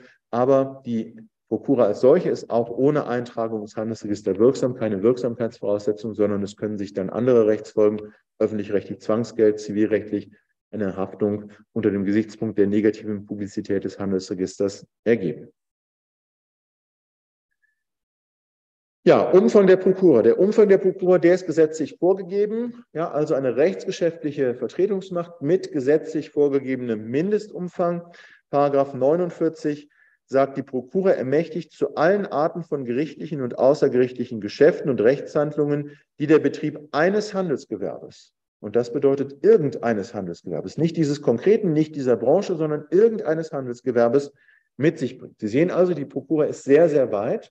Ja, also die Prokura umfasst ein Geschäft, das zu irgendeinem beliebigen Handelsgeschäft gehören kann. Ja, damit ist sie extrem weit. Sie ist nur ganz geringfügig eingeschränkt, Paragraph 49 Absatz 2.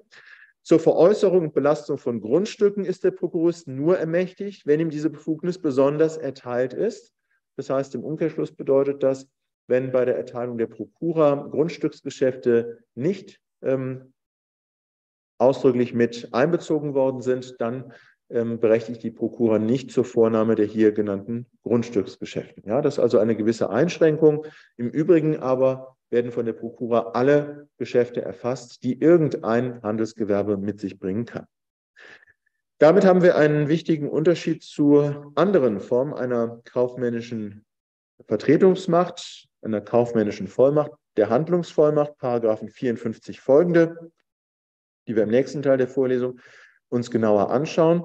Paragraph 54 HGB sagt, ist jemand ohne Erteilung der Prokura zum Betrieb eines Handelsgewerbes oder zur Vornahme einer bestimmten zu einem Handelsgewerbe gehörigen Art von Geschäften oder zur Vornahme einzelner zu einem Handelsgewerbe gehörender Geschäfte ermächtigt, so erstreckt sich die Vollmacht, Handlungsvollmacht, auf alle Geschäfte und Rechtshandlungen, die der Betrieb eines derartigen Handelsgewerbes oder die Vornahme derartiger Geschäfte gewöhnlich mit sich bringt. Sie sehen, hier haben wir also eine Beschränkung auf die jeweilige Branche, derartiges Handelsgewerbe. Und diese Beschränkung haben wir eben bei der Prokura nicht. Da heißt es eines Handelsgewerbes, irgendeines Handelsgewerbes. Ja? Deswegen also die Prokura eine besonders umfassende, besonders weitreichende Vertretungsmacht in Abgrenzung zur Handlungsvollmacht. Die Handlungsvollmacht haben wir immer dann, wenn ein Kaufmann eine Vollmacht erteilt, die keine Prokura ist, Prokura kann ja nur ausdrücklich erteilt werden. Das heißt also, wenn der Kaufmann Vollmacht erteilt, ohne diese ausdrücklich als Prokura zu bezeichnen, dann haben wir eine Handlungsvollmacht und die ist weniger weitreichend. Da sind also nur umfasst diejenigen Geschäfte, die zu einem derartigen Handelsgeschäft gehören. Das heißt, es müssen, müssen branchenübliche beziehungsweise gewöhnliche Geschäfte sein, wohingegen bei der Prokura sämtliche Geschäfte, die irgendein Handelsgeschäft mit sich bringt, ähm, erfasst werden. Ja, also auch an der Stelle im Vergleich zur Handlungsvollmacht wird deutlich, die Prokura ist eben eine besonders umfassende Vertretungsmacht und der Kaufmann muss sich gut überlegen, eine solche hm, Vollmacht zu erteilen. Das kann nur ausdrücklich erfolgen, deswegen auch dieses Ausdrücklichkeitserfordernis, weil nur dann sichergestellt ist, dass der Kaufmann sich bewusst ist, was er da macht, dass er eben eine besonders weitreichende Vertretungsmacht erteilt. Ja, im Grundsatz sind alle Geschäfte umfasst, soweit es sich nicht um Grundstücksgeschäfte im Sinne des 49.2 handelt, die der Betrieb irgendeines Handelsgewerbes mit sich bringt. Man ist sich aber einig, dass, ähm, also auch wenn das nicht ausdrücklich geregelt ist, bestimmte Geschäfte nicht vom Prokuristen vorgenommen werden dürfen. Zunächst einmal schon haben wir, haben wir schon gesehen, der 49 Absatz 2 nicht umfasst ist grundsätzlich die Veräußerung oder Belastung von Grundstücken. Grundstücksgeschäfte werden also, wenn das nicht besonders festgelegt worden ist, wenn also der Kaufmann bei der Erteilung der Prokura nicht ausdrücklich Grundstücksgeschäfte mit einbezogen hat, ähm, dann werden Grundstücksgeschäfte nicht von der Prokura erfasst, 49 Absatz 2. Ebenso wenig äh, werden erfasst private Geschäfte des Kaufmanns. Die ähm, Prokura ist ja eine Vollmacht, die von dem Inhaber des Handelsgeschäfts erteilt wird und äh, umfasst Geschäfte, die ein Handelsgewerbe mit sich bringen. Und damit sind ausgeschlossen schon nach dem Wortlaut des 49.1 Privatgeschäfte, die also nicht zum Handelsgeschäft, die nicht zum Handelsgewerbe gehören, sondern die in den privaten Bereich des Kaufmanns gehören. Solche Geschäfte darf der Prokurist also nicht vornehmen. Ebenso wenig betriebsfremde Geschäfte, die nicht der Fortführung des Unternehmens dienen, nicht der Fortführung des Handelsgewerbes dienen, sondern auf die Einstellung oder Veräußerung des Handelsgewerbes gerichtet sind. Solche Geschäfte dürfen ebenfalls nicht vorgenommen werden. Die Prokura dient ja dazu, das Handelsgewerbe fortzuführen und eben gerade nicht dazu, das Handelsgewerbe zu beenden, abzuwickeln, zu veräußern. Das heißt also, solche sogenannten betriebsfremden Geschäfte wie insbesondere die Einstellung oder Veräußerung des Unternehmens, die werden von der Prokura ebenfalls nicht erfasst. Ebenfalls ausgenommen sind die sogenannten Prinzipalgeschäfte, die schon, ähm, diesen Begriff habe ich eben schon erwähnt, Erteilung der Prokura zum Beispiel. Ja, die Erteilung der Prokura ist nach 48 ähm, dem Kaufmann vorbehalten. Das ist eben ein sogenanntes Prinzipalgeschäft. Das darf nur der Inhaber des kaufmännischen Unternehmens selbst vornehmen. Und es darf dementsprechend seitens des Prokuristen nicht eine Unterprokura erteilt werden, sondern Prokura kann nur durch den Kaufmann persönlich erteilt werden. Also die Prokura erfasst nicht die Befugnis zur Erteilung einer weiteren, einer Unterprokura. Auch das ist als sogenanntes Prinzipalgeschäft ähm, ausgenommen oder etwa auch die Unterzeichnung des Jahresabschlusses, Paragraph 245 äh, HGB, ähm, sagt, also der Kaufmann nach 238 folgende ist der Kaufmann buchführungs- und bilanzierungspflichtig. Der Kaufmann muss einen Jahresabschluss bestehend aus Bilanz, Gewinn und Verlustrechnung ähm, aufstellen. Das ist also die kaufmännische Buchführung. Ähm, da können Sie, wenn Sie das interessiert, äh, immer am Dienstag um 14.15 Uhr meine Vorlesung Bilanzrecht besuchen. Da erfahren Sie da Einzelheiten. Und Paragraph 245 HGB sagt, der Jahresabschluss ist vom Kaufmann unter Angabe des Datums zu unterzeichnen ähm, oder mehrere persönlich haftende Gesellschafter müssen unterzeichnen. Das muss also vom Kaufmann persönlich vorgenommen werden. Auch das ist also ein Prinzipalgeschäft. Auch der Jahresabschluss darf also nicht vom Prokuristen unterzeichnet werden, sondern das muss der Kaufmann persönlich machen. Und schließlich auch Grund, sogenannte Grundlagengeschäfte. Ähm, diesen Begriff kennen Sie womöglich schon aus dem Gesellschaftsrecht. Ähm, da ist äh, die Vornahme von Grundlagengeschäften ebenfalls nicht von der Vertretungsmacht der geschäftsführungsvertretungsberechtigten Gesellschafter einer Personengesellschaft umfasst, sondern das können nur alle Gesellschafter einvernehmlich machen. Ähm, etwa die Änderung der Rechtsform. Ja, das bisher einzelkaufmännische Unternehmen soll in eine GmbH umgewandelt werden oder von einer OHG in eine GmbH umgewandelt werden. Änderung der Rechtsform, das wäre ein Grundlagengeschäft. Das darf der Prokurist nicht vornehmen. Das ist dem Kaufmann selbst vorbehalten oder der Personenhandelsgesellschaft, je nachdem. Ähm, oder ganz allgemein die rechtliche Ausgestaltung des Unternehmens, die Existenz des Unternehmens, etwa ähm, die Auflösung und Liquidation des Unternehmens. Das sind alles Grundlagengeschäfte. Dazu ist der Prokurist nicht berechtigt, sondern solche Entscheidungen sind dem Kaufmann selbst beziehungsweise der Personenhandelsgesellschaft oder der GmbH, das heißt also den Gesellschaftern jeweils vorbehalten. Ja, gleichwohl bleibt, bei, bleibt es bei der Prokura eben bei einem sehr, sehr weitreichenden Umfang, Paragraph 49 Absatz 1. Alle Geschäfte, die irgendein Handelsgewerbe mit sich bringt, und zwar nicht gewöhnlich mit sich bringt, sondern es werden eben auch außergewöhnliche Geschäfte erfasst. Es bleibt also ungeachtet dieser Einschränkungen bei einem doch sehr weiten Umfang der Prokura. Paragraph 50 ergänzt, dass eine Beschränkung des Umfangs der Prokura Dritten gegenüber unwirksam ist. Das heißt also, dieser gesetzlich vorgegebene Mindestumfang kann nicht mit Wirkung gegenüber Dritte im Innenverhältnis sozusagen eingeschränkt werden. Ja, das kann man intern vereinbaren und bei Zuwiderhandlung macht sich der Prokurist unter Umständen schadensersatzpflichtig, 280.1 BGB aus dem zugrunde liegenden Anstellungsdienstverhältnis. Aber solche Beschränkungen haben im Außenverhältnis keine Wirkung. Das sagt Paragraph 50 Absatz 1 im Interesse eben der Rechtssicherheit. Im Handelsverkehr haben wir ein besonderes Interesse an Rechtssicherheit. Wenn Prokura erteilt worden ist, dann muss der Rechtsverkehr darauf vertrauen dürfen, dass diese umfassend ist, mit Ausnahme der genannten Geschäfte, Grundlagengeschäfte, Prinzipalgeschäfte, aber eben alle Geschäfte, die ein Handelsgewerbe mit sich bringt, umfasst. Beschränkungen des Umfangs der Prokura sind nach 50 Absatz 1 Dritten gegenüber unwirksam. 50 Absatz 2 stellt noch klar, dies gilt insbesondere von der Beschränkung, dass die Prokura nur für gewisse Geschäfte oder gewisse Arten von Geschäften oder nur unter gewissen Umständen oder für eine gewisse Zeit oder an einzelnen Orten ausgeübt werden soll. All diese Beschränkungen sind im Verhältnis zu Dritten unwirksam. Sie können im Innenverhältnis Relevanz haben, etwa in Gestalt einer Schadensersatzhaftung des Prokuristen bei Zuwiderhandlung, aber im Außenverhältnis wirken sie nicht. Das Einzige, was man machen kann mit Wirkung nach außen, ist eine sogenannte Filialprokura, Paragraph 50 Absatz 3.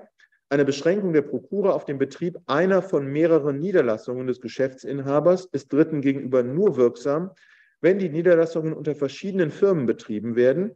Eine Verschiedenheit der Firmen im Sinne dieser Vorschrift wird auch dadurch begründet, dass für eine Zweigniederlassung der Firma ein Zusatz beigefügt wird, der sie als Firma der Zweigniederlassung bezeichnet. Ja? Also nach Maßgabe des 50.3 kann man eine Filialprokura erteilen, ähm, die dann eben nur zum Betrieb einer von mehreren Niederlassungen, einer Filiale also ähm, berechtigt. Das ist eine Beschränkung, die gegenüber Dritten wirksam ist, unter der Voraussetzung, dass die unterschiedlichen Filialen auch unter verschiedenen Firmen betrieben werden. Alle anderen Beschränkungen sind im Außenverhältnis unbeachtlich. Ja, aber unter welcher Voraussetzung können solche Beschränkungen ausnahmsweise beachtlich sein? Ja? Nee, auch das würde nicht helfen. Also das kann man nicht ins Handelsregister eintragen lassen. Auch das würde nicht helfen. Wir haben ja im Grundsatz nur negative Publizität des Handelsregisters. Ne? Dementsprechend würde das nicht helfen. Es wäre auch wohl eine unzulässige Eintragung. Ne? Das ergibt sich aus den 50.1. Beschränkungen dürfen eben nicht gemacht werden. Ja? Bei positiver Kenntnis, ja, welches Rechtsinstitut wäre da angesprochen? Aus ja, also im Zusammenhang mit der Vertretungsmacht, was wäre das dann, wenn jemand genau weiß, dass jemand seine internen Beschränkungen überschreitet? Kennen Sie schon aus BGB AT.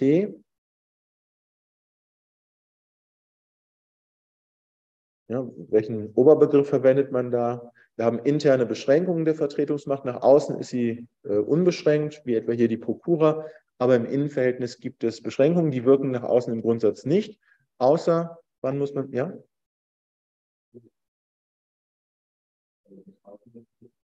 Das wäre die Konsequenz, ja, dann wäre eben keine Vertretungsmacht gegeben. Kollusion, ja, ne, oder ganz allgemein Missbrauch der Vertretungsmacht. Ja, das wären tatsächlich dann Fälle, in denen ähm, auch bei der Prokura ausnahmsweise dann doch mal interne Beschränkungen nach außen durchschlagen, nach den allgemeinen Regeln über den Missbrauch der Vertretungsmacht. Das wäre zum einen der Fall der Kollusion, das heißt, beide wirken ähm, einvernehmlich vorsätzlich zusammen, um den ähm, Kaufmann zu schädigen. Sie wissen beide ganz genau, da gibt es interne Beschränkungen, aber ähm, sie ähm, schließen diesen Vertrag gewissermaßen zur Schädigung des Kaufmanns ab. Das würde dann zur Nichtigkeit des Vertrags nach 138.1 führen, so der BGH, denn das ist eine, ein sittenwidriges Rechtsgeschäft, das also nur dazu dient, bewusst einen anderen zu schädigen. Ähm, in anderen Fällen, wo wir nicht dieses kollusive Zusammenwirken haben, aber der andere Teil, der Vertragspartner, zumindest ja, deutlich erkennen muss oder aber sogar weiß, dass die internen Beschränkungen überschritten werden. Da hätten wir einen Fall des Missbrauchs der Vertretungsmacht im engeren Sinne. Und in dieser Konstellation könnte sich dann der Vertragspartner nach 242 BGB nach treuem Glauben nicht auf diese ähm, unbeschränkte Vertretungsmacht nach außen berufen, sondern müsste sich dann diese interne Beschränkung entgegenhalten lassen. Ja, das wäre die Konsequenz des Missbrauchs der Vertretungsmacht im engeren Sinne. Und diese allgemeinen Regeln über den Missbrauch der Vertretungsmacht, Kollusion mit der Folge der Nichtigkeit des betreffenden Rechtsgeschäfts nach 138.1 oder aber ähm, Evidenz der Überschreitung der internen Grenzen nach außen für den Dritten, das führt dann zum ähm, Rechtsmissbrauchseinwand nach 242 BGB. Das wären also die Fälle, in denen diese internen Beschränkungen ausnahmsweise mal nach außen durchschlagen. Im Übrigen aber nach 50 Absatz 1 AGB keine Wirkung interner Beschränkungen nach außen. Ja, wir hatten schon angesprochen die echte Gesamtprokura, die an mehrere natürliche Personen in der Weise erteilt wird, dass nur mehrere zusammenwirken können, nur mehrere zusammen ähm, wirksam vertreten können. Daneben gibt es noch die unechte Gesamtprokura. Das bedeutet, der Prokurist kann nur zusammen mit ähm, einem Mitglied des Vertretungsorgans der betreffenden Person oder Kapitalgesellschaft vertreten. Ähm, diese unechte Gesamtprokura kann aber nicht in der Weise erteilt werden, dass der Prokurist immer mit dem Einzelkaufmann, wenn wir ein einzelkaufmännisches Unternehmen haben, nur mit dem Einzelkaufmann zusammen wirksam vertreten kann. Das sagt die ähm, äh, einhellige Auffassung, das wäre mit dem Wesen der Prokura nicht vereinbar. Ähm, wenn man immer nur zusammen mit dem Kaufmann agieren kann, dann kann der Kaufmann die Geschäfte ja gleich selbst äh, vornehmen. Und das Wesen der Prokura besteht ja gerade darin, dass der Prokurist im Prinzip alle Geschäfte, die auch der Kaufmann vornehmen darf, mit Wirkung führend gegen diesen allein vornehmen kann. Damit wäre es nicht vereinbar, wenn man die ähm, Vertretungsmacht des Prokuristen an die Mitwirkung des Einzelkaufmanns in allen Fällen koppeln würde. Das ist also nicht zulässig. Zulässig ist es aber, wenn wir eine Personenhandelsgesellschaft oder eine Kapitalgesellschaft haben, dass der Prokurist nur zusammen mit einem organschaftlichen Vertreter die Gesellschaft vertreten darf. Unzulässig wiederum wäre es, wenn immer alle organschaftlichen Vertreter zusammen mit dem Prokuristen mitwirken müssten. Das würde aufs Gleiche hinauslaufen wie die zwingende Mitwirkung des Einzelkaufmanns. Dann könnte der Prokurist ja gar nicht mehr alleine tätig werden. Das wäre also unzulässig. Also unechte Gesamtprokura letztendlich ähm, nur zulässig, wenn der Prokurist nur zusammen mit einzelnen von mehreren Vertretungsorganen einer Personenhandelsgesellschaft oder einer Kapitalgesellschaft tätig werden darf.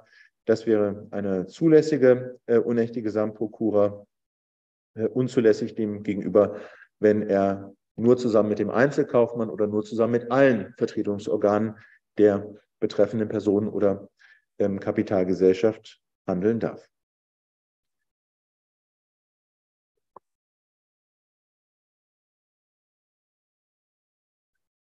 Ja, wie sieht das mit dem Erlöschen der Prokura aus? Eine Befristung der Prokura, das sagt Paragraph 50 Absatz 2, ist unwirksam. Sie kann also mit Wirkung nach außen nicht befristet werden. Weil die Prokura aber ebenso weitreichend und damit auch für den Kaufmann so gefährlich ist, kann er sie jederzeit widerrufen. Paragraph 52 HGB. Die Prokura ist ohne Rücksicht auf das der Erteilung zugrunde liegende Rechtsverhältnis jederzeit widerruflich unbeschadet des Anspruchs auf die vertragsmäßige Vergütung, selbst wenn der zugrunde liegende Dienstvertrag, Anstellungsvertrag ähm, noch fortdauern sollte, kann gleichwohl die Prokura jederzeit widerrufen werden. Darüber hinaus erlischt die Prokura nach äh, 52 Absatz 2 durch den Tod des Prokuristen. Das folgt eben aus dieser Bestimmung, dass die Prokura nicht übertragbar ist, und zwar weder unter Lebenden noch von Todeswegen. Sie geht also nicht auf den Erben oder die Erben des äh, Prokuristen über, sondern mit dem Tod des Prokuristen erlischt die Prokura. Dann kommt zur Anwendung ähm, gewissermaßen lückenfüllend die allgemeine Vorschrift des BGB, Paragraph 168 Satz 1 BGB, der sagt, dass die ähm, Vollmacht im Zweifel erlischt mit dem Ende des zugrunde liegenden Rechtsverhältnisses. Das heißt also, wenn der Anstellungsvertrag Arbeitsvertrag mit dem Prokuristen endet, dann endet im Zweifel auch die Prokura. Umgekehrt gilt das nicht. Das äh, sagt ja ausdrücklich 52. Also der Widerruf der Prokura führt nicht automatisch auch zur Beendigung des zugrunde liegenden Rechtsverhältnisses, etwa Arbeitsverhältnisses. Aber wenn die Prokura, wenn das Arbeitsverhältnis endet, dann endet ähm, im Zweifel eben nach 168 Satz 1 BGB auch die Prokura. Ja, weil die Prokura eine spezifisch kaufmännische Vollmacht ist und nur von einem Kaufmann erteilt werden kann, ähm, erlischt sie auch, wenn der, ähm, die Kaufmannseigenschaft wegfällt oder das Unternehmen sogar ganz beendet wird. Das führt ebenfalls zum Erlöschen der Prokura, weil die Prokura eben zwingend das Bestehen eines kaufmännischen Unternehmens voraussetzt. Nach 52 Absatz 3 ist dagegen der Tod des Kaufmanns, der Tod des Inhabers des Handelsgeschäfts oder entsprechend anzuwenden die Liquidation der ähm, Gesellschaft, die das Unternehmen trägt, kein Erlöschungstatbestand, sondern ähm, die, die Prokura wirkt dann ähm, führend gegen den, nach, den Rechtsnachfolger, etwa den Erben des Kaufmanns, ähm, beziehungsweise wenn es eine Rechtsnachfolge bei der unternehmenstragenden Gesellschaft gibt, dann würde die Prokura auch gegen die Rechtsnachfolgerin der Gesellschaft weiterwirken. Auch das Erlöschen der Prokura muss, wie wir eben schon gesehen haben, nach 53.2 in das Handelsregister eingetragen werden. Wiederum ist die Handelsregistereintragung nicht konstitutiv, keine Wirksamkeitsvoraussetzung für das Erlöschen oder für den Widerruf zum Beispiel. Ähm, aber wir haben dann wieder die Möglichkeit einer Haftung nach 15.1 HGB auf der Grundlage der negativen Publizität des Handelsregisters. Ähm, wenn das Erlöschen der Prokura nicht eingetragen wird, dann muss sich ein gutgläubiger Dritter das Erlöschen nicht entgegenhalten lassen, kann sich also auf das Fortbestehen der Prokura berufen. Das ist also die ähm, größte Gefahr in den Fällen, dass man es versäumt, das Erlöschen der Prokura eintragen zu lassen. Die negative Publizität des Handelsregisters würde dann eingreifen. Ja, dazu noch den Fall 13, ähm, den wir aber jetzt heute nicht mehr ähm, besprechen können. Da betreibt die L eine exklusive Hotelkette und ähm, bei ihr ist der äh, unter anderem der K angestellt als Hoteldirektor. Ähm, der hat für dieses Hotel, für ein bestimmtes Hotel Prokura erteilt und er erteilt nun den Auftrag zu umfassenden Renovierungsarbeiten des Frühstücksraumes, ohne dass er vorher den Geschäftsführer der GmbH gefragt hat. Der ist nachträglich damit nicht einverstanden. Und jetzt stellt sich die Frage, ähm, muss, der, muss die ähm, L ähm, diese Auftragserteilung an den, ähm, an den äh, Ingenieur I gegen sich gelten lassen. Das ist also die Frage, die hier zu prüfen wäre. Sie können sich den Sachverhalt ja schon mal anschauen, sich schon mal Gedanken machen und dann werden wir in der nächsten Stunde den Fall gemeinsam lösen und dann auch noch die Handlungsvollmacht anschließend besprechen. Bis dahin also für heute und wir sehen uns dann in der nächsten Woche wieder. Alles Gute.